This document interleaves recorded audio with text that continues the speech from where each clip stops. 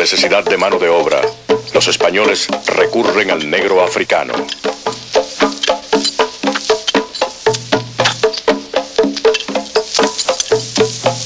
Cazados como animales, hacinados en buques en condiciones infrahumanas, el negro llega al nuevo mundo a ejecutar un rol servil y a ser vendidos como bestias por el europeo.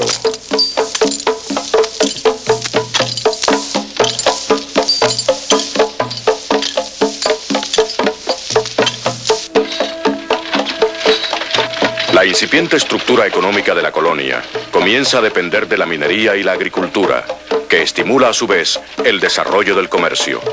Así, el futuro del trabajo agrícola se convierte en toda clase de importaciones, unas vitales y otras lujosas. Esta tarea minera y agrícola requería un peón fuerte que se enfrentara a los rigores de la faena y del clima de las Antillas.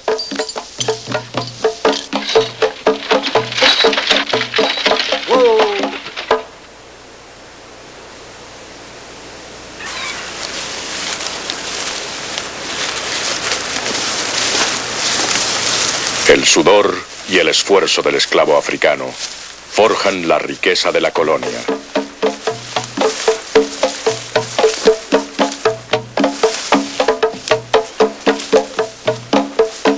El negro será fundamental en la sociedad puertorriqueña, una sociedad definida por una variada y constante fusión de razas.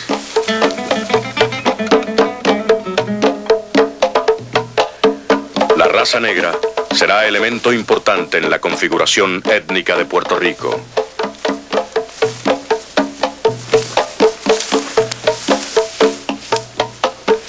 Su función social irá evolucionando hasta establecer su presencia y raíz en la sociedad puertorriqueña.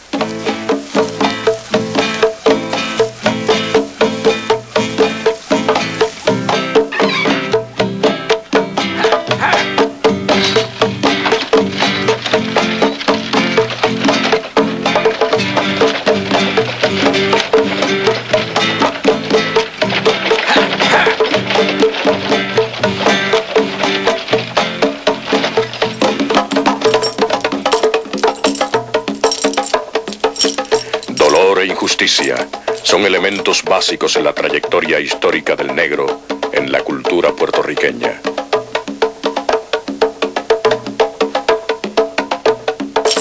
La más despiadada condición servil y un prejuicio racial constante serán sufridos en carne viva.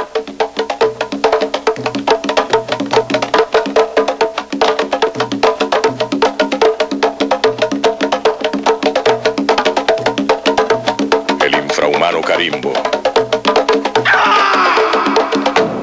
Símbolo del proceso de integración del negro a nuestra sociedad.